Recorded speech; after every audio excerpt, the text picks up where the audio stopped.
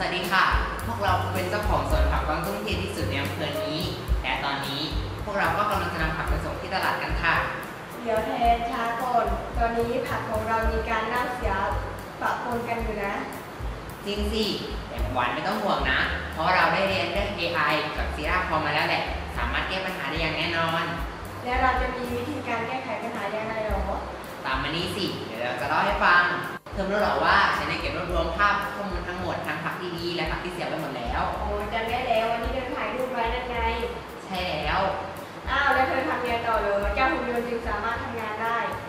ขั้นแรกเลยเราก็จะทำการ train โดยการลากบล็อก DeepTrain เข้ามาวางไว้ จากนั้นโหลดภาพเข้ามา และกำหนดให้แต่ละภาพว่าตัวไหนคือผักที่ดี และตัวไหนคือผักที่ไม่ดี ผักที่ดีเราจะกำหนดว่าโอเค ส่วนผักที่เสียเราจะกำหนดว่า NG จากนั้น ก็กด train เพื่อฝึกให้เจ้า AI สามารถแยกแยะผักดีผักเสียได้รอสักนิดนี่ไงก็แค่ลากบล็อก DeepDetect เข้ามาวางแล้วก็เลือกอุปกรณ์ในการจับภาพ เช่น กล้องเว็บแคม แล้วจากนั้นก็เชื่อมต่อการไหลของข้อมูล เพื่อทำการทดสอบได้เลย รวมถึงวางปุ่มสวิตช์ start button ถ้าจะให้สมบูรณ์และอยากให้เห็นภาพการทำงาน ให้ลากบล็อก debug เข้ามาวางแบบนี้เลย และที่สำคัญกลไกเหล่านี้สามารถไปควบคุมแขนกลของหุ่นยนต์ของเราได้ แค่เราเชื่อมต่อกับเจ้า CiRA robot controller และทำการกำหนดท่าทางของแขนไว้ล่วงหน้า หากเจอผักที่ไม่ดีขึ้นมา มันก็จะทำการคัดออกโดยอัตโนมัติเจ๋งใช่ไหมล่ะ ว้าวมันสุดยอดไปเลย และยังไม่พอ เธอรู้ไหม เจ้าซีราคอมมันสามารถแจ้งเตือนเหตุการณ์เราทางไลน์ได้ เอ๊ะแจ้งเตือนอะไรหรอ